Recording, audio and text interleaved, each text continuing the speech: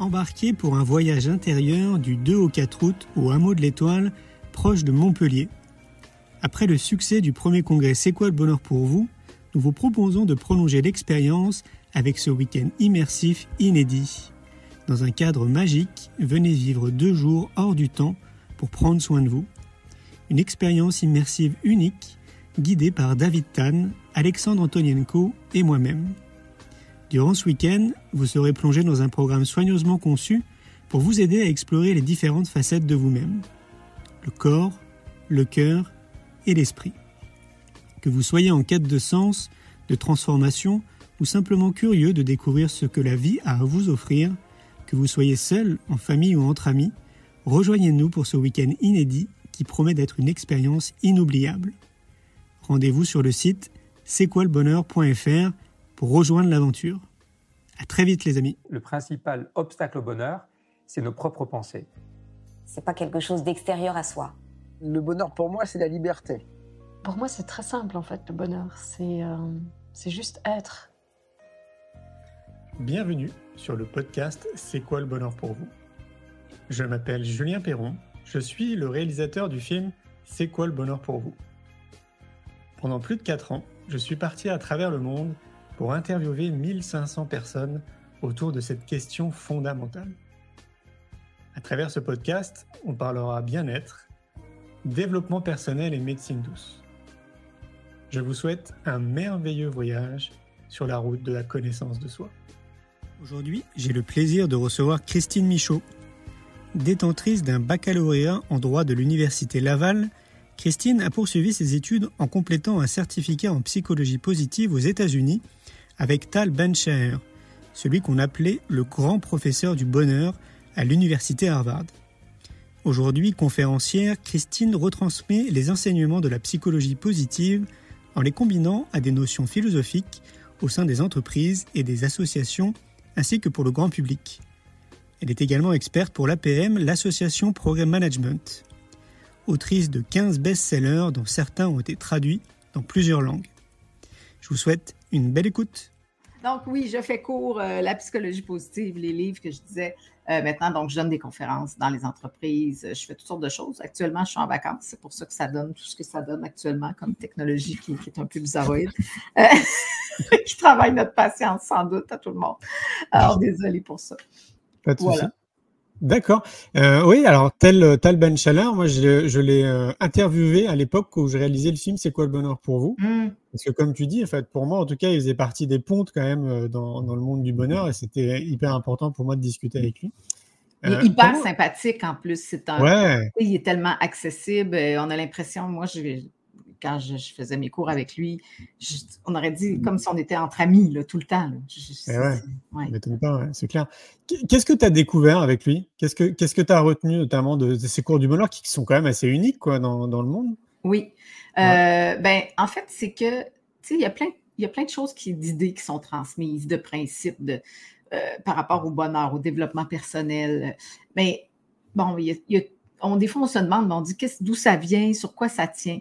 Peut-être qu'il y a une notion, dans mon cas, c'est qui, est particulière, ou je ne sais pas, mais c'est le fait que j'ai étudié en droit. J'ai l'impression que ce qui m'est resté de, de ces études-là, c'est que j'ai souvent besoin de preuves dans la vie. Tu sais. Euh, ce qui pourrait paraître un peu négatif, mais pas tant, parce que ça m'oblige des fois à, chercher un peu plus ou à aller mhm. plus en profondeur. Et je pense que la psychologie positive, c'est ça que c'est à ça que c'est venu répondre. Parce que là, il faut dire aussi, probablement que les gens qui, te suivent le savent déjà, mais c'est pas de la pensée positive. Là, j'ai rien contre la pensée positive, mais c'est vraiment un champ de recherche scientifique.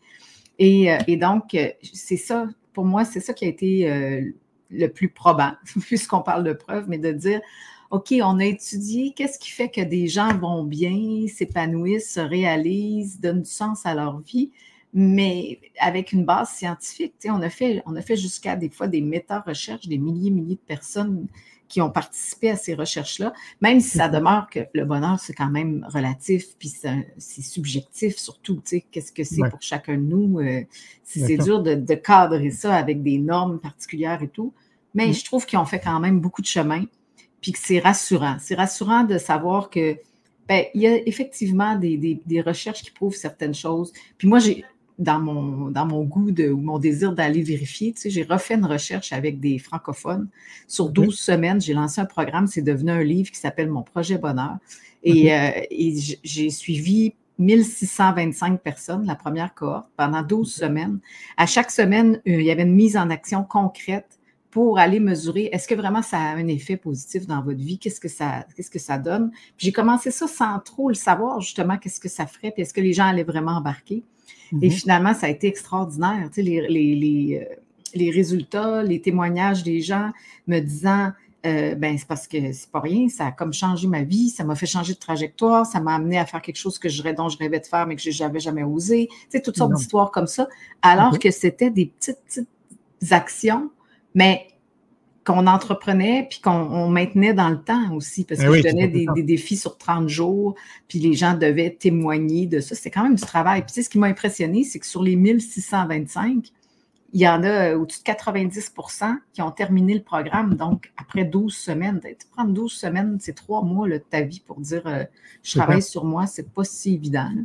Mm-hmm. Alors, euh, ouais, ça a été, c'est ce qui m'a prouvé que oui, c'est vrai que c'est des choses très simples, très concrètes. C'est ça aussi. Des fois, j'ai l'impression qu'on on, pense parfois qu'il faut que ce soit euh, compliqué, euh, très élaboré pour que vraiment ça nous fasse, que ça fasse un effet positif dans notre vie, alors que non, ça ne prend pas grand-chose.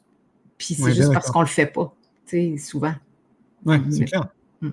Est-ce que tu peux nous donner quelques exemples, justement, de que oui. tu leur demandais de faire? Ouais. Ben, l'exemple le plus facile dont je suis certaine que la plupart ont entendu parler, c'est la, gratitude, le sentiment de la gratitude. Tu on nous dit il y a dix, émotions positives qu'on appelle des super émotions, c'est-à-dire que qui ont, qui ont vraiment euh, des, des, des, résultats extraordinaires dans notre vie, qui peuvent nous faire changer, euh, euh, pivoter, mettons, de, on dit de l'ombre à la lumière, mais bref.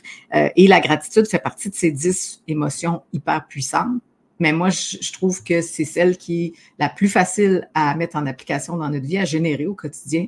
Puis c'est celle qui rapporte le plus de résultats, même des résultats auxquels on ne s'attendait pas.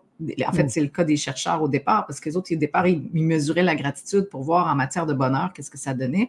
Mais finalement, on faisait faire un exercice aux gens qui, le soir, avant de s'endormir, pensaient, repensaient à notre journée, pour en extraire peut-être trois à cinq moments pour lesquels on pourrait dire merci. Ça peut être des toutes petites choses. Là, ça pourrait être, euh, j'ai entendu un oiseau chanter ce matin, puis je dis merci pour ça, comme ça peut être plus grandiose parce que je fais une entrevue avec toi, puis je peux dire merci pour ça aussi. euh, mais mais euh, ce que, puis si on le maintient dans le temps, c'est-à-dire que moi je dis il y a des recherches qui nous disent que ça prend 21 jours pour développer une nouvelle habitude. Moi, je dis prenons pas de chance, allons-y pour 30, parce qu'on sait très bien qu'il y a des soirs qu'on le fera probablement pas. Euh, puis il ne faut pas que ça soit stressant, parce que quand c'est stressant, j'ai l'impression qu'on c'est là qu'on ne tient pas aussi. Euh, bref, si on fait ça, nos trois à cinq moments de gratitude avant de s'endormir, ben non seulement ça joue sur notre niveau de bonheur chronique, qu'on appelle, c'est le niveau de bonheur qu'on maintient la plupart du temps, mais en plus, c'est que ça nous, euh, ça nous permet de mieux dormir. Si on fait ça avant de s'endormir, je veux dire, c'est mieux que d'écouter un bulletin de, nouvelles, de mauvaises nouvelles ou je sais pas, quelque chose qui nous déplaît, nous stresse. Euh, ça travaille sur notre mémoire vive parce que le fait de, se rappeler, de se remémorer toute notre journée avant de s'endormir, c'est un excellent exercice de mémoire. Euh, ça nous programme positivement parce qu'on se rend compte rapidement que les jours suivants, on se lève, puis on se demande déjà le matin, on se demande pourquoi on va dire merci le soir. On, est à l'affût. Alors, qu'est-ce qui arrive? Ben, on va être bien plus présent aussi. moi, je, je, vois que des fois, je, je, prends, je marche le matin avec mon chien, puis déjà, je suis en train d'observer, de ressentir davantage parce que je, ah, je vais remercier pour ça ce soir. Ah, je vais remercier pour ça ce soir. Euh, ça change tout. Il y a toutes sortes de choses comme ça que ça donne. puis finalement, il y a quelque chose de plus simple. On n'a pas besoin de, rien. On n'a pas besoin d'acheter rien, de, préparer rien. On a juste besoin de vivre notre vie, notre journée, puis arriver au soir puis se demander pourquoi je pourrais dire merci. Et c'est ça qui est chouette, comme tu le dis, c'est qu'il y a quand même des euh, les neurosciences qui sont intéressées à tout ça, les scientifiques qui sont intéressés. Donc, euh, pour ceux qui sont un peu pragmatiques, on arrive à le mesurer, à montrer vraiment tous les bienfaits mm. pour notre cerveau, pour notre corps, pour nos cellules. Et comme tu dis, c'est d'une simplicité euh, déconcertante. Mm. Et c'est vraiment accessible, j'ai envie de dire, à 99% des gens. Quoi. C'est, c'est vraiment ce qui est le plus simple à mettre en place déjà dans un premier temps. J'imagine que tu connais Florence Servan-Schreiber? Oui, ben elle, a fait le même parcours que moi là, avec Tal Oui. D'accord. Oui, ben oui, puis j'avais à l'époque, euh, ce qui m'avait marqué d'elle, c'était sa. Elle avait une vidéo sur TED ben, qui doit être encore là, là, où pendant un an, elle a écrit des lettres de gratitude. C'était tellement Oui. merveilleux. Tu sais, au lieu de, de faire des cadeaux, euh, mettons que ce soit à ses enfants, ça- en fait, n'importe qui dans sa famille, ses amis, euh, ses collègues, peu importe, eh ben, quand il arrivait un anniversaire ou une fête à célébrer ou je sais pas quoi, ben, au lieu d'acheter quelque chose, elle écrivait une lettre de gratitude. Ouais. Mais elle raconte à quel point ça a changé sa vie de faire ça, c'est sûr. Mais c'est ça. Parce que c'est un autre exercice que Tal suggère dans le, dans, dans le cours, c'est d'écrire une lettre qui doit tenir sur une page maximum à quelqu'un pour lui témoigner notre gratitude. Mais Ouais. c'est- c'est de, des fois, c'est de rappeler des souvenirs, c'est de dire, euh, ben, tu sais, à une certaine époque, quand j'ai vécu telle chose, ben, tu étais là pour moi, puis je tiens à t'en remercier. En fait, c'est de se demander aussi en quoi cette personne-là m'a fait grandir dans ma vie, qu'est-ce qu'elle elle m'a apporté de lumineux? Euh, ben, le fait de l'écrire à l'autre personne, c'est incroyable comment ça nous fait du bien à nous. Tu sais, ce que j'ai fait, moi, j'avais une charge de cours euh, dans une école de commerce, justement à Paris, sur la psychologie positive, qu'on appelait euh, le leadership positif. Les étudiants, il y avait 20, 21 ans. Et le- le- l'examen de mi-session, il y avait deux examens pendant la session, un à la moitié puis l'autre à la fin. Alors, l'examen de mi-session, j'avais poussé l'audace un peu en disant, euh, ben, je vais faire un examen expérience. Alors, ce que je demandais aux jeunes, c'était d'écrire une lettre de gratitude à quelqu'un. Puis là, je leur disais pas. C'est que je disais, vous, devez écrire la lettre. J'expliquais, bon, qu'est-ce que c'était la gratitude, le lien avec la psychologie positive, etc., comment un peu les, bases de tout ça. Puis je disais, ben, évidemment, je ne vais pas vous, euh, noter sur la qualité du français ou quoi que ce soit, mais je m'attends que vous allez faire quand même un effort. Et donc, ils devaient envoyer, envoyer leur lettre avant une certaine date. Et puis, c'est fou parce que j'ai donné ce cours-là pendant peut-être deux ans. Puis, il y a toujours eu plus d'étudiants d'une fois à l'autre. Donc, la dernière session, dernière cohorte, j'avais 212 étudiants. Donc, 212 lettres de gratitude à lire parce que je me faisais un devoir de toutes les lire et de leur répondre un petit message personnalisé, tu sais, pour leur dire bravo. Énorme. Puis mon truc, que je peux dire maintenant, puisque je n'ai plus cette charge de cours, bref, si j'en ai une autre un jour, j'inventerai autre chose. Mais je, quand arrivait les- le temps de donner les notes, ben, à partir du moment où ils avaient écrit la lettre, je leur donnais la note maximale. Parce que je, je leur disais, ce que je veux vous prouver, c'est que, encore une fois, la preuve, c'est que dans la vie, souvent, les, les petites actions produisent les plus grands résultats si elles sont faites avec le cœur. Ouais. Et ce qui, c'est exactement ce qu'ils venaient de faire avec leur lettre. Mais Julien, j'ai pleuré, là, pleuré en lisant leur lettre. Je veux dire, si, si n'importe qui aujourd'hui me dit que, je sais pas moi, qui doute de la jeunesse, euh, de, tu sais, non, non, non. J'entends des fois des gens, des gens dire Ah, mais tu sais, ils sont déconnectés, là, avec le, ils sont connectés technologiquement. Oh que non, oh que non. Moi, je peux vous dire, pour avoir lu toutes leurs lettres, c'est extraordinaire, tu sais, ce qu'ils ressentent, ce qu'ils perçoivent, euh, comment ils sont capables de, de le témoigner, mais il faut, il faut toujours bien leur ouvrir la porte pour ça. tu sais. C'est sûr que c'est pas comme à la mode, c'est pas ce qu'on va voir un peu partout là, sur les médias sociaux. Mais Mhm. moi, après, il me, remer- il me disait merci, madame, merci de nous avoir fait faire ça. C'était tellement, c'était tellement important. Puis, attends, il y a eu des histoires après. Là. Il y a eu des, des jeunes, mettons, qui avaient une problématique avec un de leurs parents, puis ont décidé d'écrire la lettre à, la- à ce parent-là, puis que Ouais. finalement, il s'est réglé des choses. Puis, puis il y a des parents qui m'ont écrit. Puis, tu sais, c'est une, Ouais, une des plus belles choses qui est arrivée dans ma vie, assurément, d'avoir fait Ouais. faire cet examen expérience à des jeunes qui avaient 20-21 ans. Mm. Ok. Ah, c'est magnifique. Et alors, je ne sais pas si je me trompe, mais il me semble avoir lu aussi que pour la personne qui reçoit la lettre, les effets bénéfiques durent quasiment pendant six mois.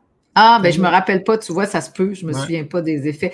Mais parce que Tal, quand il, il l'enseigne, ce truc-là, il dit aussi, euh, il faut non seulement écrire la lettre, mais idéalement, il faut prendre rendez-vous avec la personne puis aller lui lire Oui. en personne, tu sais. Fait que ça aussi, ça ajoute, le dire, tu es devant l'autre personne puis tu lui lis ta lettre avec tout ton cœur. C'est sûr qu'on, il y a des gens qui me disent, on va pleurer. Ben oui, vous allez pleurer, c'est pas grave, Mais c'est bon de pleurer. ça peut être bon. Bah ouais, bien sûr. Est-ce que, donc, on se disait en off, pour les gens d'ailleurs qui sont peut-être pas au courant, tu as écrit plus de 15 livres ou 15 livres pile poil? 15 livres pile poil. 15 Comme livres, ok. Et donc là, tu me disais que là, cet été, tu allais écrire, donc euh, visiblement, Oui, tu vas. je suis en train d'écrire actuellement. D'accord. Je répète pour mon éditeur, je suis en train d'écrire. Je comprends très, très bien. La, plupart des livres que tu as écrits, parce que bien évidemment, moi, j'ai pas accès à, tous tes livres, mm-hmm. euh, très souvent, c'est quoi en fait l'envie que tu as derrière en fait quand tu te mets à écrire un livre? C'est quoi en fait Qu'est-ce qui t'anime le plus que plus qu'autre chose quoi? Ben, il y a des mots qui me viennent quand tu me poses cette question-là, mais c'est euh, un peu de d'aider à, à, voir davantage toute la beauté du monde, la beauté de la vie, la grandeur de la vie. Fait que c'est beaucoup, c'est de devenir aussi pleinement vivant, honorer cette vie. Euh, c'est pas tant dans. Euh, j'ai jamais voulu, par exemple, j'ai écrit des essais là, plus psychologiques ou philosophiques, spirituels, etc. Puis j'ai écrit deux romans. Puis je disais souvent, pour mes romans, entre autres, je voulais pas de, un personnage nécessairement qui fait un, un, cheminement, qui arrive à quelque chose, un, un aboutissement où tout est parfait, c'est donc merveilleux. Puis non, parce que la vie, c'est pas comme ça c'était plus de justement d'apprendre à vivre, d'apprendre à mieux vivre, de vivre ce qu'on appelle en psychologie positive une vie optimale. C'est quoi la mm. vie optimale pour moi? C'est différent pour chacun. Euh, puis comment, comment je prends soin de, de, de, cette vie qui m'est donnée, comment aussi je sers, je peux contribuer. Ça, moi, l'expression faire, faire œuvre utile que j'aime beaucoup. Comment je fais œuvre utile, c'est tout à fait ton cas, là, toi, tu es en plein. Euh, et je pense que c'est ça, c'est que si tout le monde, on apprenait à mieux se connaître, à, être vraiment dans notre axe, euh, puis rayonner à partir de là. Euh, le monde peut changer complètement, c'est sûr. Parce que tout ce que je vois toujours qui, m'attriste, ce que je vois le plus souvent, puis peut-être que ça répond à la question pourquoi j'écris, mais ce qui m'attriste le plus, c'est de voir des gens qui euh, sont comme à côté, tu sais, puis ils, ils, croient que ça ne peut pas être autrement. Donc, il y a comme une perte d'espoir aussi. Puis je me dis, mais non, ça ne fait pas de sens. on a tellement de preuves, on a tellement de gens qui, justement, ont à un moment donné décidé qu'ils allaient suivre leur voie à eux, euh, leur voie d'amour, de lumière, de rayonnement, je ne sais pas comment l'appeler, mais, mais ça change tout. Sauf qu'il faut être, tu sais, pour faire ça, c'est sûr qu'il faut mettre l'ego un peu de côté. Il faut lui dire, euh, on sait qu'il reste, faut qu'il reste là, il nous protège aussi, mais ce n'est pas une question de, l'enlever complètement, mais, mais d'apprendre à cheminer avec, puis de laisser aller le cœur d'abord, puis d'arrêter d'être pris par nos peurs, nos doutes, euh, d'être trop dans le contrôle aussi, parce que je pense que c'est ce que ça demande. Des fois, c'est de dire, euh, allez, je plonge, j'y vais. Je ne sais pas ce qui m'attend, je ne sais pas qu'est-ce que mais, euh, mais, mais, mais je vais vivre, je vais vivre pleinement. Et puis ça, ben, c'est la plus belle chose qui peut arriver parce qu'en plus, ça, pour moi, c'est une croyance, mais je l'ai trop vu arriver. C'est à partir du moment où on dirait qu'on commence à marcher notre chemin, ben, c'est là que la vie nous vient en aide, en quelque sorte, Dieu, appelez-le comme vous voulez. Euh, puis, toutes les synchronicités qu'on aime donc, les, espèces de beaux hasards de la vie ou je sais pas quoi, ben, c'est ça qui prend, commence à, se poser sur notre chemin aussi, puis nous guider, nous éclairer, puis des espèces de petits moments de, grâce. Écoute, hier soir, moi, j'étais en, en, train de souper avec euh, chez une amie très proche qui a un garçon qui a 18 ans. Et j'ai eu une discussion avec son garçon à la fin du souper pendant qu'elle était avec son plus jeune, puis j'étais toute seule à table avec le, fils de 18 ans. Puis on a eu une discussion extrêmement spirituelle, mais c'est de l'ordre que je suis revenue chez moi complètement bouleversée, positivement bouleversée, parce que ce jeune-là m'a amené sur des pistes, m'a posé des questions, puis je, je me disais, waouh, quelle connexion humaine là, avec lui ce soir, ça n'a même pas de bon sens. Euh, on dirait, le temps s'était arrêté là, complètement.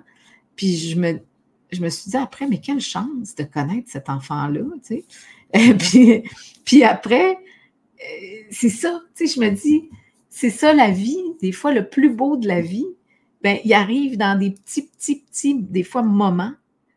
Euh, on a, j'ai rien eu à faire, là. J'ai pas, j'ai pas organisé rien, j'ai pas, j'ai pas, je sais pas, j'ai pas rien préparé. C'est arrivé. C'est peut-être ça, la grâce dont on ben parle. Hein, mais oui. Mais, mais, tu sais, il faut quand même d'abord être ouvert pour que, je pense, pour que ça arrive. Il y a comme un, peut-être une préparation ou un entretien de terrain, parce que je mmh. sais que tu es un jardinier, comme moi j'aime bien l'expression, en psychologie positive, on dit qu'il faut faire fleurir les humains. Puis en lisant ton livre, euh, c'est ce que je comprenais aussi. Je me disais, ah, c'est cute, c'est qu'il y a vraiment quelque chose qui nous relie.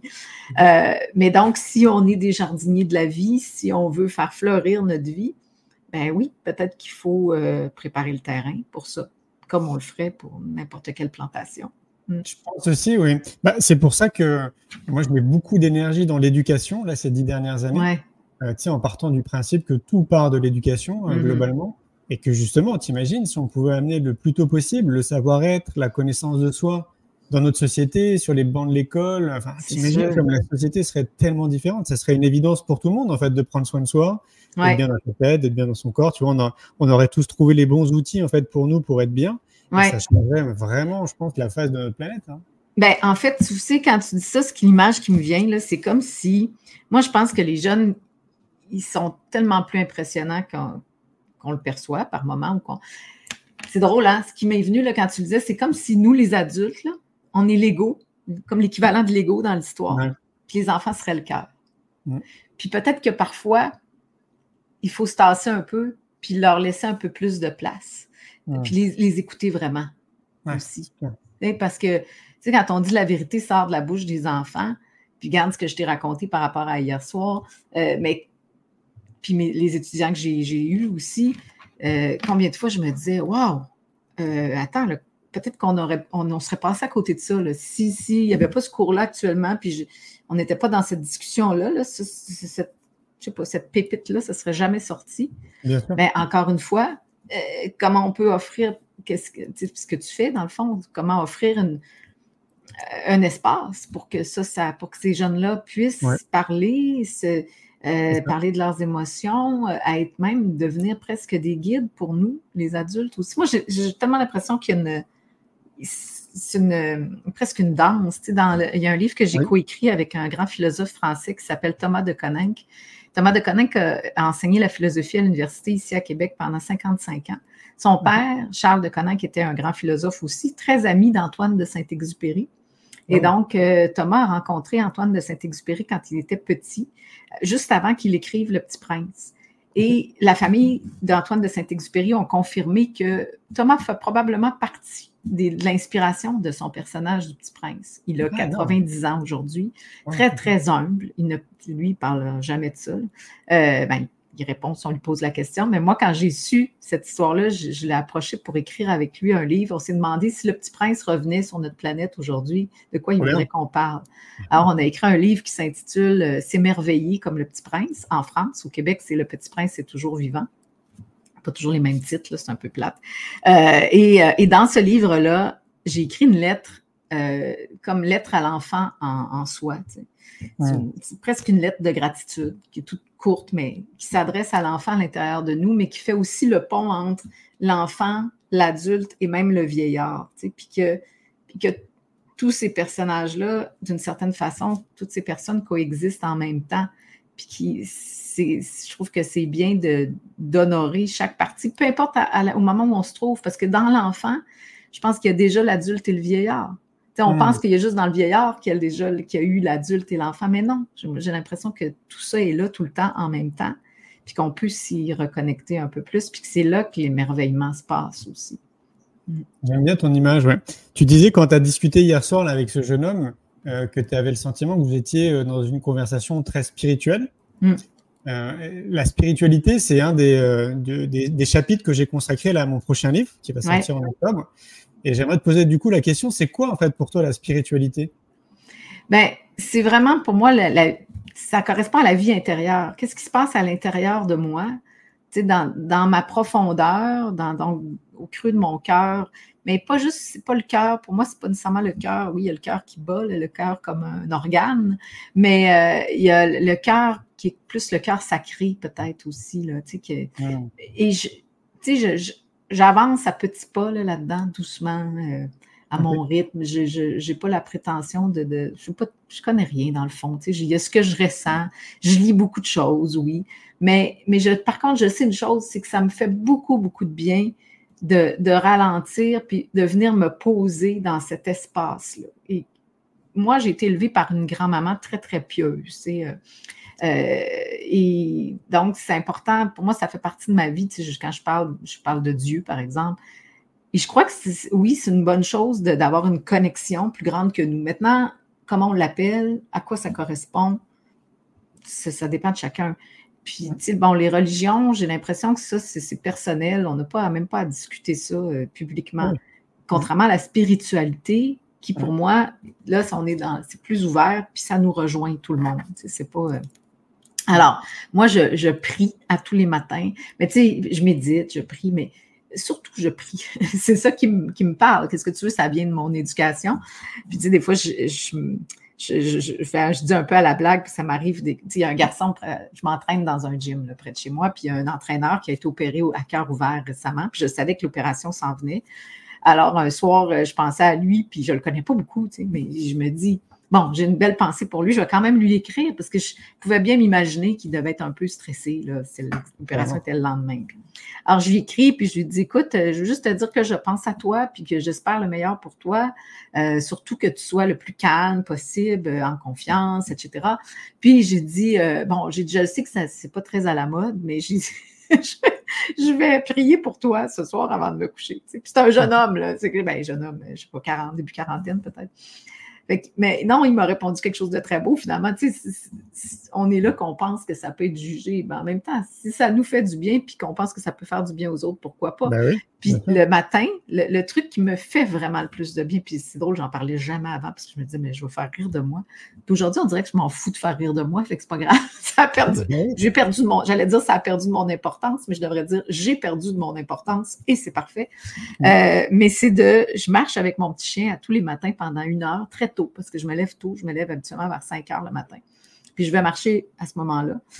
Et je récite un chapelet parce que ma grand-mère, quand j'étais petite, elle me faisait faire ça.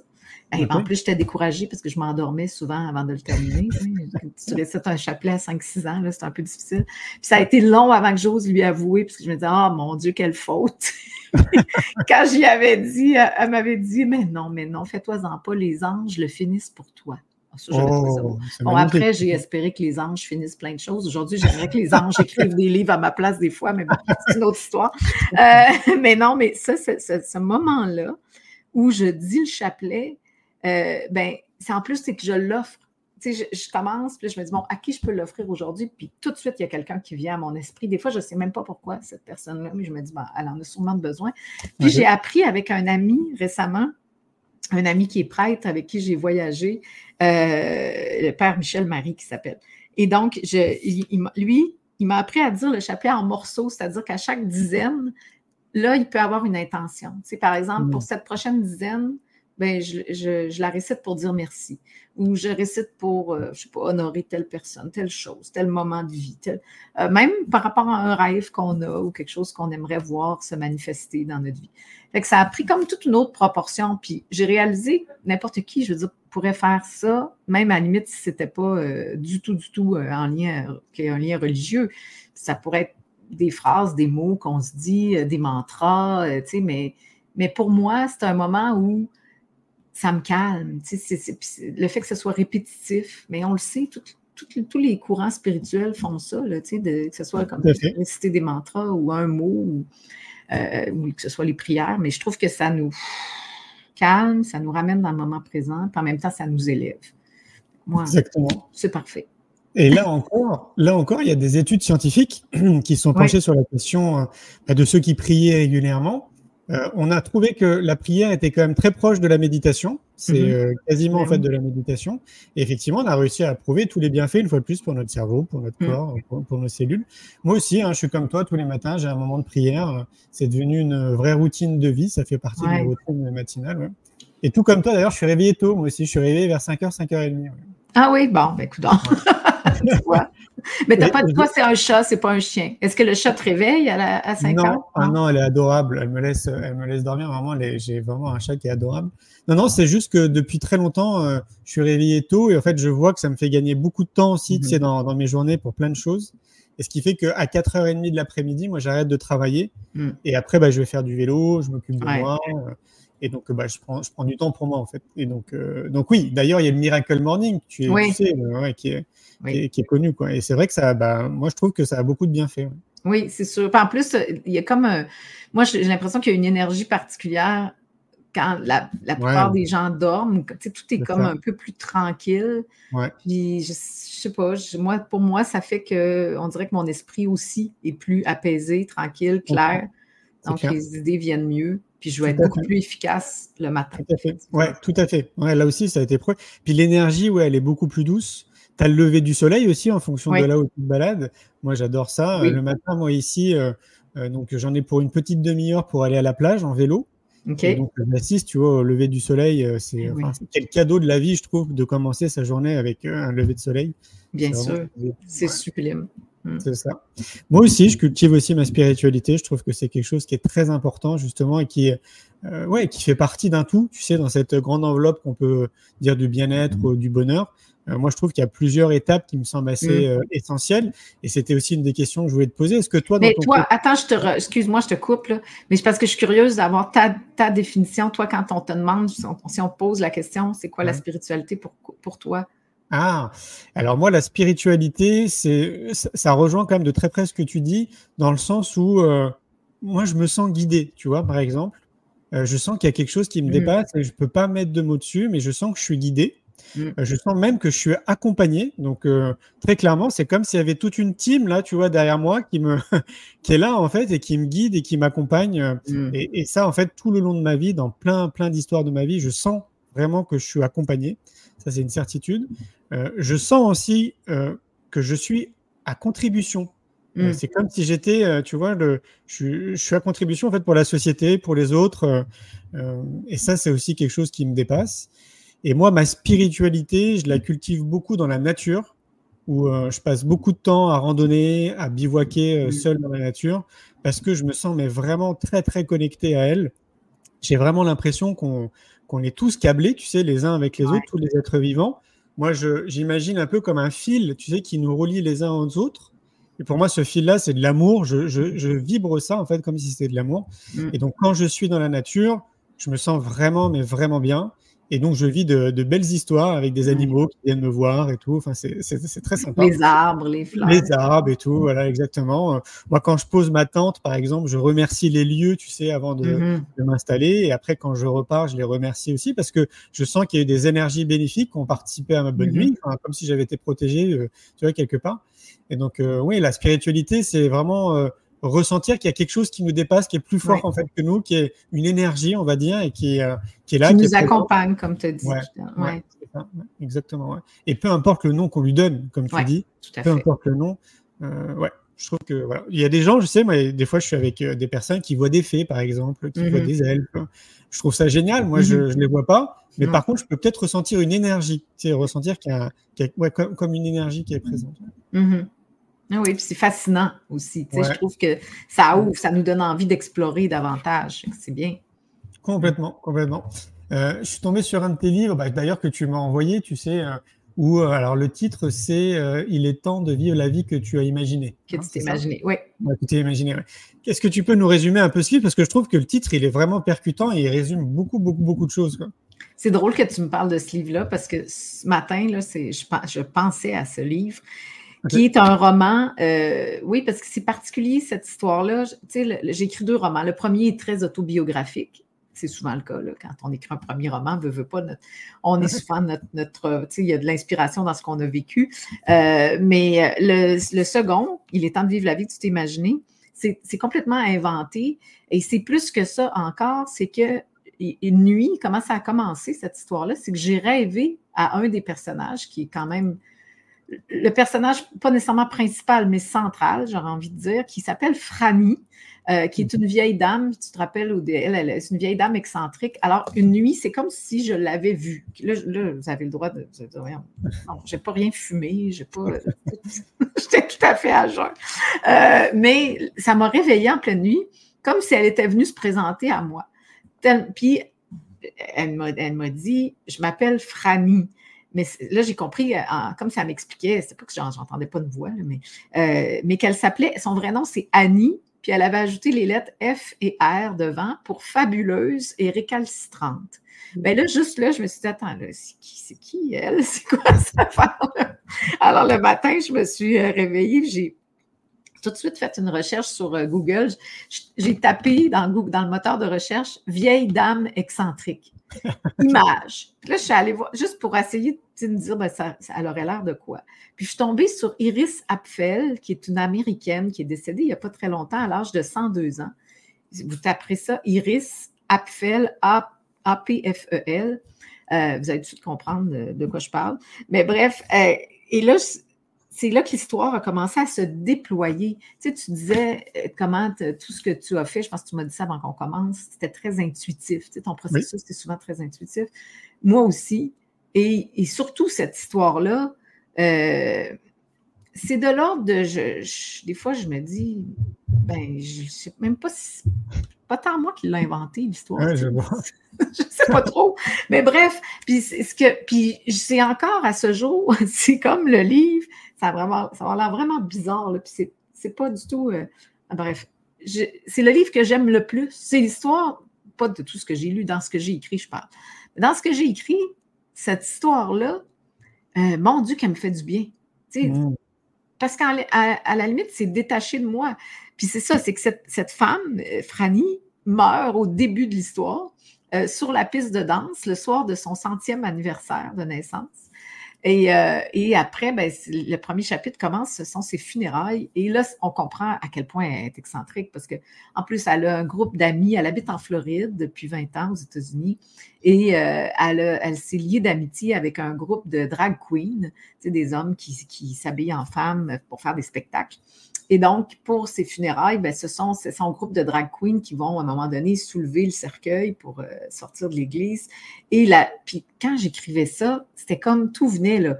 Euh, là, je me disais, ah mon Dieu, ça se peut pas. C'est, euh, Let's Go Crazy de Prince qui joue, tu sais, la musique dans les c'est un peu flyé quand même. Mais les images me venaient, puis je me disais, mais oui, mais oui, c'était presque jouissif de penser, oui, ça peut arriver, ça aussi, oui, si cette dame-là était comme ça, pourquoi pas, ça fait sourire tout le monde dans l'église, ça nous met en joie.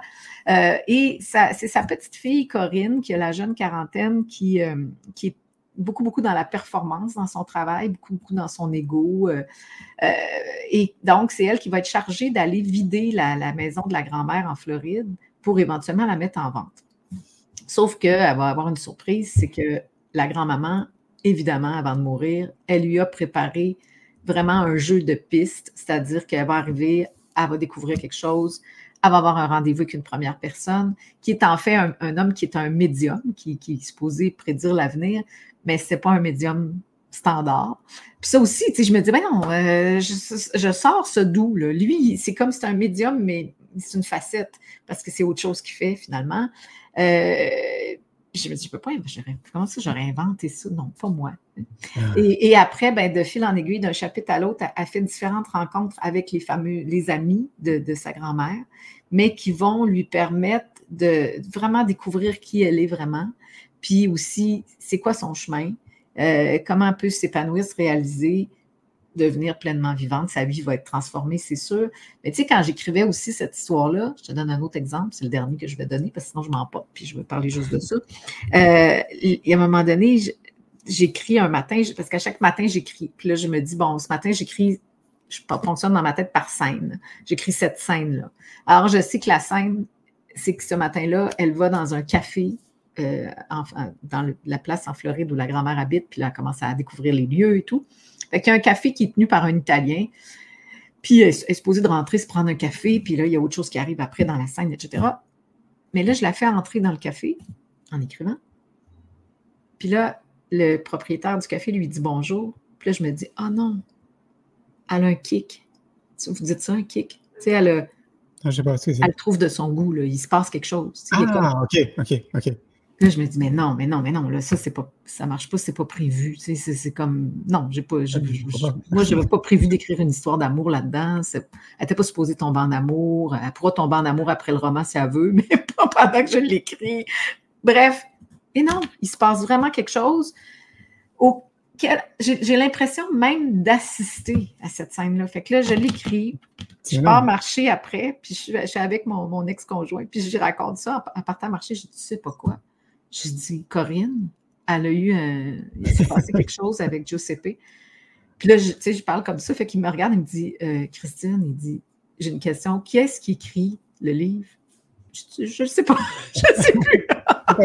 Moi. Ben bref, alors c'est ça. C'est une histoire, écoute, que je- ce que je souhaite qu'elle fasse, c'est que les, dans le fond, les lecteurs ou les lectrices de cette histoire-là, qui, s'imaginent être Corinne, et, Mm. et suivent le même chemin. Parce que, à la limite, je me dis, si Franny existe, ah, d'une certaine façon, là, elle n'existe pas physiquement, mais je pense qu'elle existe dans l'imaginaire. Ben, le jeu de piste qu'elle a créé ou ce qu'elle offre à sa, à sa petite fille, ben, c'est offert à, à tout le monde qui va lire le livre, dans le fond. C'est que lecteur va devenir partie prenante aussi de cette histoire-là. Hmm. Ouais, bah oui, c'est- c'est- et c'est ce qui est justement génial en fait dans ce type Ouais. de livre. C'est que Ouais. tu te reconnais et t'es, t'es happé en fait. Et en fait, c'est le genre de livre que tu lis super rapidement tellement Ouais. l'histoire en fait te parle beaucoup. quoi. Bah Ah oui, j'ai reçu euh, beaucoup de messages, puis même euh, Franny, elle a laissé des lettres tu sais, dans- à, Corinne, sa petite fille, là, pendant le processus.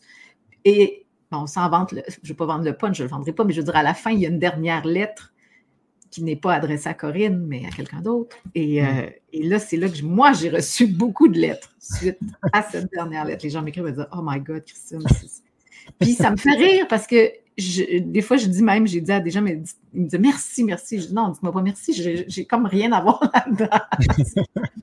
mais là, bon, c'est une autre histoire. J'irai en thérapie pour ça un jour. sans. Alors, en t'écoutant, ça me fait penser à une question. Oui. Euh, c'est quoi, toi, ton moteur, en fait? Qu'est-ce qui, qu'est-ce qui t'alimente tous les matins à te réveiller, notamment à 5 heures du mat Peut-être pour sortir ton chien? Mon chien, oui. Ce qui m'alimente à me réveiller, c'est mon chien. Mais au-delà de ça, c'est quoi, tu sais, c'est quoi qui te motive, en fait, qui donne du sens à ta vie tous les matins pour te réveiller et pour avoir cette belle énergie là que, que tu témoignes comme ça là? Ben, c'est. moi, mon expression te dit quelque chose qui ressemble à ça, là, mais moi, c'est le, le pétillement intérieur. Hmm. Qu'est-ce qui me fait pétiller de Ouais. l'intérieur, comme des bulles Mm. de champagne? Euh, et c'est la piste que je suis. Est-ce que ça me fait pétiller ou pas? Puis j'ai l'impression que des fois, on dit se poser la question, c'est d'y répondre. Alors, si on commence à se demander qu'est-ce qui me fait pétiller dans la vie, bien, je pense que la vie va répondre en, en envoyant des exemples. Et c'est possiblement ce qui me rend aussi passionnée de la vie à chaque jour, c'est que j'ai toujours comme des nouvelles idées pétillantes qui arrivent. Hmm. Euh, puis, je, je, je vais juste répondre parce que c'est beaucoup ça aussi. En plus je vieillis, j'ai un ami qui, qui m'a enseigné cette phrase qui vient de la, de la règle de Saint-Benoît, des moines. Qui, tu sais, la règle de Saint-Benoît, ça commence par écoute, puis ça termine par réponds et tu adviendras. Puis ça m'a parlé parce que je me disais, mon Dieu, ça peut être aussi simple que ça, c'est-à-dire, on, on pourrait juste écouter, écouter avec notre cœur sacré, justement. Euh, qu'est-ce qui nous est demandé dans la vie? Qu'est-ce qui est, qu'est-ce qui est là? Puis y répondre. Y répondre avec un grand oui, avec tout notre cœur. Et, je pense que c'est là que ça pétille fort aussi. Que la joie se trouve là. L'amour est là, la joie est là. Quand on répond à ce que la vie nous demande, mais pas, pas dans. euh, c'est pas pour se prouver, c'est pas pour euh, compenser quoi que ce soit, c'est pas pour en mettre plein la vue. C'est vraiment c'est répondre à l'appel intérieur. Fait que ça fait une, espèce de boucle avec quand on parlait de spiritualité. Euh, Mhm. Quand j'étais petite, moi, on- quand on me demandait qu'est-ce que tu veux faire plus tard, je disais je voulais être soit bonne sœur ou danseuse. C'était Mhm. pas tout à fait les mêmes, Ouais. la même chose. Ouais. Mais puis je suis allée à l'école chez les sœurs, puis les sœurs disaient souvent euh, soyez attentives, c'était une école de filles. Tu sais. Qu'alors, ils disaient soyez attentives, le Seigneur pourrait vous appeler. Puis là, moi, ça me stressait un peu parce que vu que j'étais élevée beaucoup par ma grand-mère qui était très pieuse, je me disais, il y a des chances qu'il m'appelle, tu sais, dans le fond, euh, ça Ouais, se ouais. pourrait. J'étais déjà très, très attirée par ça. Mais, et je voulais pas.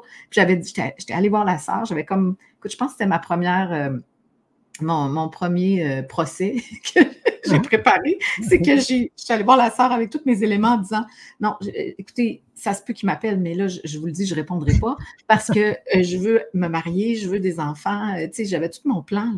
là et qui n'est pas arrivé parce que j'ai voulu avoir des enfants, ça n'a pas fonctionné. Je, suis divorcée. Je... Fait que là, je me suis dit, ben voyons, peut-être. Mais finalement, aujourd'hui, je, je repense à ça de temps en temps, puis je me dis, mais non, mais c'est ça, l'appel, c'est pas juste de devenir une bonne sœur.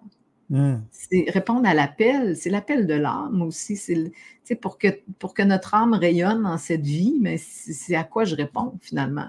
Mais c'est en lien avec euh, les forces que j'ai, les qualités, les, les expériences que j'ai vécues qui m'ont transformé, qui m'ont permis de devenir qui je suis.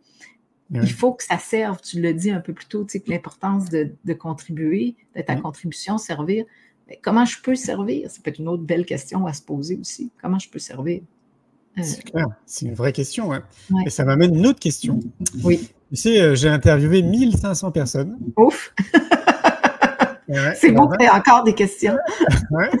Dans 25 pays, et je leur ai posé la même question. C'est quoi le bonheur pour vous? Mm-hmm. du coup, c'est quoi le bonheur pour toi? C'est maintenant. C'est maintenant. Littéralement, c'est maintenant avec toi, avec les gens qui sont à l'écoute. C'est ça. C'est aussi simple, euh, mais aussi beau, aussi grandiose. Et c'est vraiment. Je trouve que des fois, on cherche trop loin. moi, la première, j'ai cherché tellement loin. Ah oui? Ouais. Puis combien de fois aujourd'hui, je me dis, mais dans ce moment-ci, c'est merveilleux. Dans l'instant présent. après. Ouais. Mais ouais, c'est ça. Quel challenge d'être dans l'instant présent dans une société où tout va très vite. Euh, c'est un vrai Puis on n'est pas obligé de. Il ne faut pas, faut pas que ça devienne une pression parce que je pense que le bonheur aujourd'hui, parfois, il y a une pression qui vient avec, puis ce ne serait pas terrible. Tu sais. Alors, je pense qu'il faut euh, se dire, ben, si le plus souvent possible, je peux, euh, comme pas, oui, une pratique d'être dans le moment présent en quelque sorte. Bon, ben, si ça, arrive, tu sais,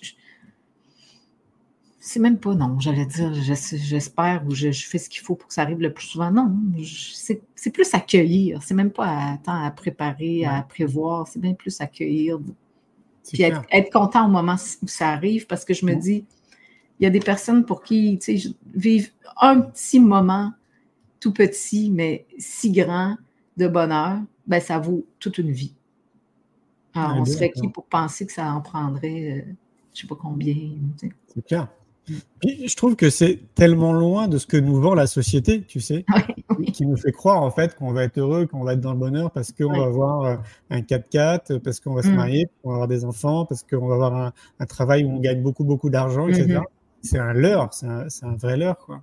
Ouais, puis il faut l'avoir vécu parce qu'on le sait, les gens qui vivent souvent, il y a des gens qui ont témoigné de ça, de dire ben moi, je voulais, je voulais, je voulais telle chose, puis c'est arrivé. Et après. C'est ça. Et c'est la vraie question. Et après, qu'est-ce qui se passe après quoi? Mm. Et, d'ailleurs, c'est rigolo parce qu'il y a aussi des études qui ont été menées. Je pense à une étude où, en gros, pour simplifier, euh, c'était quelqu'un qui rêvait, par exemple, de s'acheter une Ferrari. Donc, c'était vraiment un rêve de gosse, tu sais. Donc, il a mm. tout fait un jour pour acheter sa Ferrari. Et puis, ben, finalement, il a sa Ferrari, il roule dedans. Et en fait, il s'aperçoit au fur et à mesure qu'il, tous les jours, il monte dans sa Ferrari, et ben que ce, ce, ce, euh, le bonheur en fait qu'il avait justement à posséder et à avoir cette Ferrari, mais ça commence à disparaître, à mhm. disparaître. Et au bout de quelques mois, ben, ça devient une habitude en fait d'entrer dans ta Ferrari. Et du coup, ben, tu n'as plus cette. Euh, C'est même devenu ordinaire, ouais. ouais ben, tu sais que ça s'appelle l'habituation hédonique en psychologie positive, on a fait des recherches sur ça. Adaptation ou habituation hédonique. On dit on s'adapte ou on s'habitue à tout, même mm. le bonheur même le, positif. Et, donc, on vient qu'on ne le voit plus dans un sens. Euh, puis quand on parle, quand on dit hédonique, l'hédonisme, parce qu'on dit il y a deux types de bonheur. Il y a le bonheur hédonique ou eudémonique. Le bonheur hédonique, c'est la recherche du plaisir et l'évitement de la souffrance. La Ferrari rentre dans ce type de bonheur. On est vraiment au niveau du plaisir, finalement. Tandis que le bonheur eudémonique, c'est le bonheur profond, c'est ce qui donne du sens à notre vie, c'est ce qui va avoir plus de chances de perdurer dans le temps. Et ce qu'on nous apprend par contre aussi, c'est qu'il ne faut pas non plus euh, nier le bonheur hédonique ou les plaisirs de la vie. moi, je crois que, par exemple, l'exemple que tu viens de raconter, ben, probablement que ce gars-là, ça faisait partie de son expérience d'avoir une Ferrari un jour. Puis d'en mesurer les effets, puis de mm. voir en quoi ça change. Finalement, ça ne changeait pas grand-chose. Euh, donc, des fois, moi-même, j'ai souvent dit en conférence, je disais, le, le chemin spirituel passe par le matériel, souvent. Parce qu'il faut l'avoir un peu testé pour, euh, mieux comprendre, mieux saisir certaines choses. Que, oui. Oui.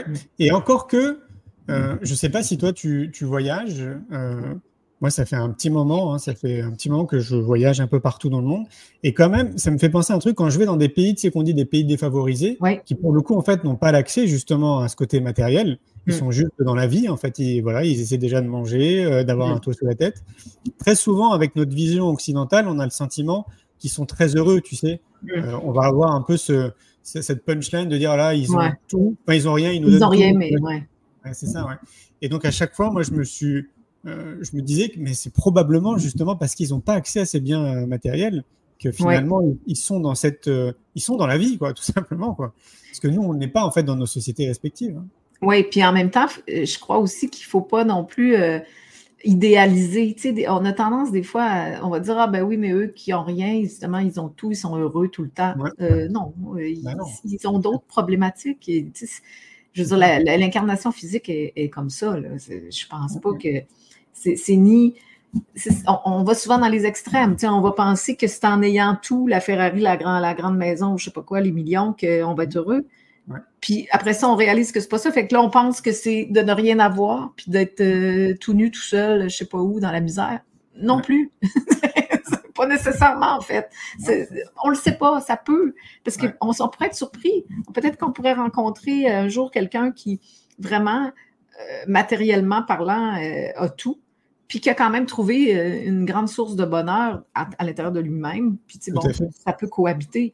La même chose avec la personne qui, qui, qui a rien, tu sais, finalement. Exactement. hein. On, se, Oui, on moi, se c'est- raconte beaucoup d'histoires, je trouve. Oui, Hein? c'est vrai. ouais. Moi, tu sais, j'ai un tatouage là ici, Oui. en, en sanskrit, euh, et qui veut dire euh, euh, équilibre. Ah oui. Parce que justement, je trouve que d'être constamment dans cette recherche d'équilibre, tu sais, dans tout, un peu dans l'exemple que tu viens de donner, j'ai l'impression que c'est euh, c'est quelque chose qui nous aide beaucoup, tu sais, Mm. à, ben justement à pas tomber dans des extrêmes, forcément, Ouais. Tout le temps dans cette euh, recherche d'équilibre, mais dans tout, hein, personnel, professionnel, amoureux, ami, euh, tout ce que tu veux. Mhm. En tout cas, moi, c'est comme ça que je mène ma barque, comme on dit. Et, et j'aime bien, en fait, tu vois, tanguer comme ça, à être tout le temps dans cette euh, recherche d'équilibre. Ouais, c'est beau, c'est une belle image. Christine, ça passe très vite. Ça y est, là, Oui. on- ça va faire déjà une heure. Bon, écoute, moi, je veux dire à, à toi et à tout le monde, je suis désolée pour Chopin, qu'il s'appelle, euh, le perroquet du départ. Avec le changement de micro, my God, je me dis, bon, Mais- souci. ça devait être comme ça, j'imagine. Mais d'ailleurs, c'est incroyable. En fait, tu as raison. Depuis que tu as tes oreillettes, on ne l'entend pas. C'est c'est rigolo, Non. ouais. Ok. Non, je sais pas. Il, ben, il, elle est- il vient de me regarder dans les yeux en voulant dire Vous parlez de moi. c'est quoi l'affaire? là? Non, mais euh, c'est ça. C'est comme ça. Mais tu vois, avant, c'est une chose aussi, tu sais, je- des fois, on panique, là, il arrive quelque chose, puis c'est comme. Ouais. Ouais. Est-ce Oh que c'est a- si grave que ça? Bah, c'est clair. euh, c'est ça qu'il faut apprendre, je crois aussi. Bah oui, hein. Je trouve qu'on a très très bien géré ça en Oui. toute tranquillité. euh, En pas changement de, de micro, d'espace, mais bref. On est dans la vie. On parlait la Voilà, vie. voilà. On est Eh, mais moi, je suis ravie vraiment de enfin avoir eu ce rendez-vous avec toi. Que moi aussi. ça long, aussi, là, aussi, ouais. à se connecter. Puis, euh, ravie de découvrir euh, un peu plus aussi, non seulement ce que tu fais, mais qui tu es. Ouais, Euh, aussi. je trouve ça impressionnant, euh, tout le travail que tu as fait déjà, tout ce que tu as Merci. mis en œuvre, parce que c'est vraiment le, le cas. là. Euh, bravo, bravo. Puis je vais Merci. continuer, c'est sûr, de te suivre, euh, de parler de, de ce que tu fais, d'être euh, peut-être euh, une ambassadrice pour toi, si tu veux. là. Ah, bah, c'est sympa. Bah, tu sais, moi, j'adore euh, venir euh, au Canada, notamment au Québec. Mais alors, il Euh, faudra me le dire. Ouais, avant la période de, de- qu'on a connue de confinement, je venais régulièrement pour mes films. Tu sais, ils organisaient en fait des projections, donc je venais. Et j'ai vraiment envie de revenir. Donc, je te dirai quand, quand je Oui. reviendrai. se Ben, tu sais, euh, à l'époque, si on s'était connus, ben, si on avait fait cette entrevue plus tôt, mais n'est pas jamais trop tard, j'organisais des journées au Palais des Congrès de Montréal. Oui. Euh, Bah des grandes journées d'inspiration où j'avais toujours des Français justement qui venaient sur la scène ce jour-là pour pendant Ah, dire une conférence. Fait que on aurait même pu présenter un de tes films ou je sais pas. En tout cas, bref. Et fais ça plus? pourrait se refaire. ça J'ai Ah. arrêté avec la COVID. Mais Ah, ok. euh, c'est ça. J'évalue, là. Je regarde ça un peu. Cet été, c'est ju- c'est justement là, je suis en arrêt, tu sais, plus ben, écriture et, et, euh, et tranquille à relaxer euh, à la maison, mais aussi pour laisser déposer les nouvelles idées ou essayer de mieux discerner aussi sur ce qui, Oui, sur ce qui te fait vibrer, quoi. qui me Ouais. fait pétiller de l'intérieur. Puis, ouais, c'est ça. Trop bien. Merci beaucoup, Christine. Merci, merci infiniment à toi. Merci à toi. Amuse-toi bien. Et puis, Oui. bon, on reste en contact. Tout à fait. À tout bientôt. Ouais. Ciao, ciao. Et voilà, les amis, c'était euh, Christine Michaud. J'espère que vous avez passé un bon moment avec nous. Ah oui, comme je vous l'ai dit, alors si vous n'étiez pas là au début, ça faisait un petit moment qu'on souhaitait échanger ensemble avec Christine. C'est chose faite. Donc euh, ouais, c'était très très très sympa. Merci à elle pour cette belle énergie, euh, pour toute l'énergie qu'elle met aussi dans l'écriture de ses livres. Parce que croyez-moi, moi qui suis en train de terminer mon deuxième livre là, qui va sortir du coup le 31 octobre et que je dois rendre lundi euh, je peux vous dire que c'est très challengeant de, coucher sur papier nos idées, ce qu'on a envie de transmettre. C'est vraiment quelque chose qui est alors qui est très formateur, déjà, je trouve pour moi, encore plus quand, moi quand vous êtes dyslexique et dysorthographique, et qui est aussi un, ouais, un bel outil de, transmission. Donc déjà, oui, je voulais vous remercier. Euh, depuis que mon premier livre est sorti, là, c'est quoi le bonheur pour vous? Donc c'était en mois de juin dernier, donc ça fait déjà un an. Euh, vous êtes pas loin maintenant de plus de 10 000 personnes à avoir lu le livre, et donc du coup, bah, je reçois beaucoup de mails de votre part, beaucoup de témoignages sur les réseaux sociaux, de voir que ce livre vous inspire et vous accompagne. Donc, euh, merci beaucoup, je suis très content. C'était vraiment l'objectif. Et donc là, la suite, c'est la partie complémentaire arrive. C'est c'est quoi le bonheur pour vous en quête de sens qui sortira donc du coup le 31 octobre. Euh, je vais vous remontrer une petite vidéo qu'on a réalisée euh, autour de l'univers de la galaxie C'est quoi le bonheur pour vous qui est devenue une vraie galaxie maintenant, qui regroupe bah, du coup les livres, qui regroupe un jeu de cartes, euh, un congrès qu'on a organisé le mois de, au mois de novembre dernier. Le congrès, c'est quoi le bonheur pour vous Et puis, je dois oublier un chose. Et puis, le film, c'est quoi le bonheur pour vous Vous retrouver sur YouTube. Et donc, du coup, on a réalisé une vidéo qui regroupe un petit peu tout ce qu'on fait euh, sous l'effigie. C'est quoi le bonheur pour vous Je vous souhaite plein de bonnes choses là où vous êtes. Prenez soin de vous et je vous dis à très vite. Un grand merci pour votre écoute. J'espère que vous avez passé un bon moment avec nous. Pour prolonger l'expérience C'est quoi le bonheur pour vous? Et continuer votre cheminement sur la connaissance de soi, je vous invite vivement à lire mon livre C'est quoi le bonheur pour vous? que vous trouverez dans toutes les librairies. Jouez et amusez-vous avec le jeu de cartes entre amis, avec des inconnus, dans le monde de l'entreprise, à l'école. Regardez le film C'est quoi le bonheur pour vous? Et surtout, prenez soin de vous. Je vous souhaite un merveilleux voyage vers vous-même.